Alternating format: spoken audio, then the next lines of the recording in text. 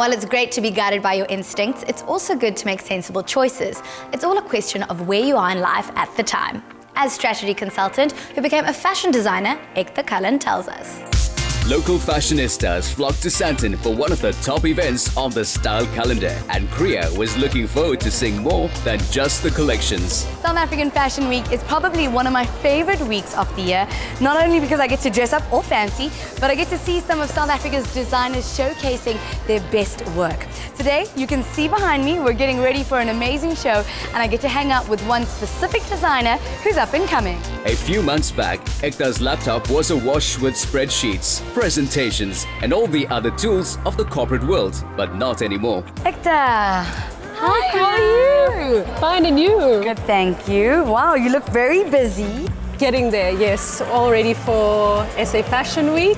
So, Ekta, this world is still pretty new to you. I mean, you were still in finance last year. Yeah, so it's been quite a long journey before coming to where I am. I first did a finance degree, worked in management consulting, but fashion was always my childhood dream and passion. Did you always have a creative side growing up? I loved dressing up, just playing with design, images, the idea of something new or always coming up, mm. something that you're creating, whether it's architecture, photography, or anything in that field to play with. So I think that always was something that was a motivator. So your name is Ekta and you've chosen to go with the same name for your brand.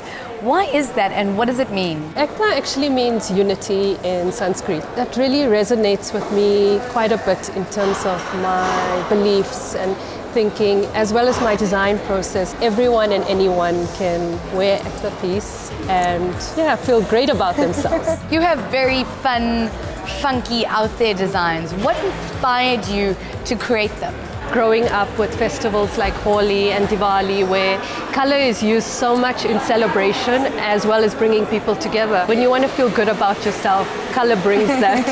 and yeah, that's where most of the design inspiration, color can always lift your mood up and make you feel good about yourself. This would be Ekta's Fashion Week debut, and the evening was sold out. Despite the pressure, she projected an aura of friendly confidence. How has growing up in South Africa influenced you as a designer? We're a country of so much diversity, a melting pot of cultures and people, and I think that has brought about the influence in my design from a child being going to an Anglican school, you know, in, engaging with children from different cultures and faiths, as well as my own Indian culture, and I think that has influenced me in terms of my design. I'm South African, I'm Indian, I'm, I'm a global child. Well, everyone is here tonight to see your collection. But do you think you can give me a little sneak peek before it goes on the runway? Yes, sure, of course. Let's go. Ekta had indicated that color played a major role in her creative approach, and the garments confirmed this. Oh, I like this. Oh, look, it's got some blue in it as well. So tell me a little bit about your collection and, you know, where did the inspiration come from? The whole story behind this collection is I wanted it to be about femininity, but as well as boldness, that softness of being a feminine woman, but there's a lot of boldness and strength in her as well. The line is actually called diffusion, a mix of bringing different cultures together and changing it into a new form and place and I think it's so important in this day and age where we need to think about inclusivity, femininity, and that's what the collection's about. It's about soft feminine touches with the color, but boldness as well. It is your very first fashion week. What does it feel like? It's been exhilarating, exciting, nerve-wracking, sleepless nights. Well, I'm going to leave you to get ready for your show, and I'm going to be sitting front row, and I can't wait to see your design. Thank you so much. It's been really wonderful. While Kriya made her way to her seat, Ekta, the models, and the backstage team focused on all the tiny details that could spell the difference between the line being declared on point or not quite there.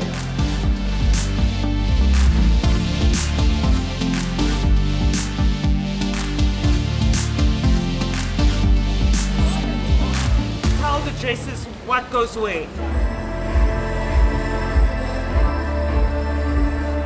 With classic black forming the baseline, the palettes presented a funky combo of pink, burgundy, canary yellow, lime, indigo and teal tones.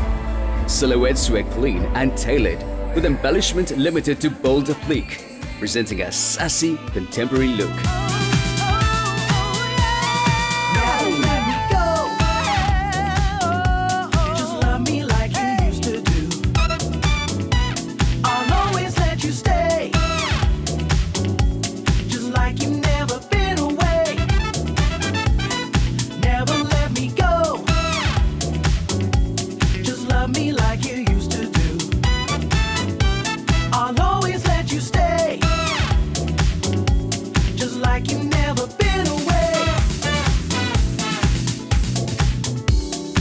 Having made a convincing debut, Ekta could relax and enjoy some well-deserved applause.